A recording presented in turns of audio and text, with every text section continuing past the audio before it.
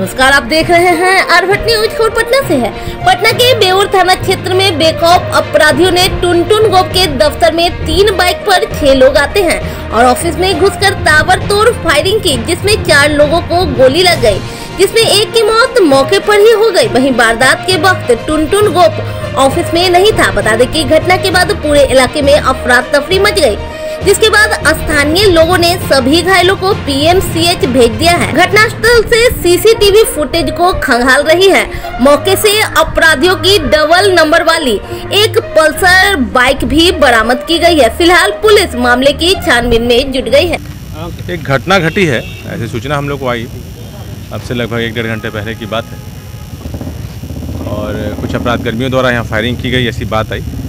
उसके बाद में हम लोग पड़ताल कर रहे थे और क्योंकि अस्त व्यस्तता थोड़ी हो गई थी। विक्टिम्स को लोग के लेके उनके जो भी फैमिली मेंबर्स हैं और जो भी संबंधी है वो लोग इलाज के लिए दौड़े भी थे। पुलिस जल्दी पहुँची मौके पर अब तक जो पता चला है कि कुल चार लोगों को गोली लगी है। एक व्यक्ति की मृत्यु हो गई है और बाकी तीनों इलाजरत हैं। अब डॉक्टर से हमारी बात हुई, ट्रीटमेंट चल रहा है और कंडीशन अभी स्टेबल है। होपफुली अच्छी खबर रहनी चाहिए उन लोगों के संबंध में। इस घटना को हम लोग देखने से एक बैकग्राउंड भी है। जो कि आप लोगों की पिछली घटनाओं के क्रम से जो आप लोग रिपोर्टिंग करते हैं आप लोगों को जानकारी रही होगी। हर एंगल से पड़ताल हम लोग कर रहे हैं। कुल छः अपराधी आए थे। अब तक की पड़ताल से पता चला है। तीन मोटरसाइकिल था। आगे हम लोग कार्रवाई कर रहे हैं। लीड्स काफ़ी जो घटना स्थल है? ये बेसिकली एक ऑफ़िस है।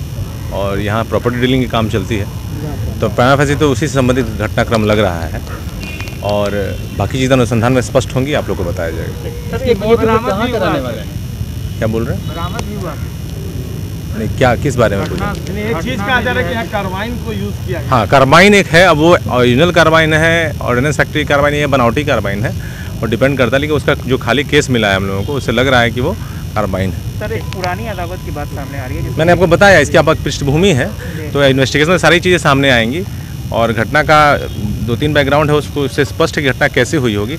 मेन बात है शूटर्स को पकड़ना ताकि पूरी कॉन्स्परेसी निकल के सामने आ जाए। डबल नंबर का कोई मोटरसाइकिल भी बरामद हुआ? वो सारी चीज़ें इन्वेस्टिगेशन पार्ट है वो आप लोगों को बताएँगे जैसे ऐसी चीज़ें खुलेंगी।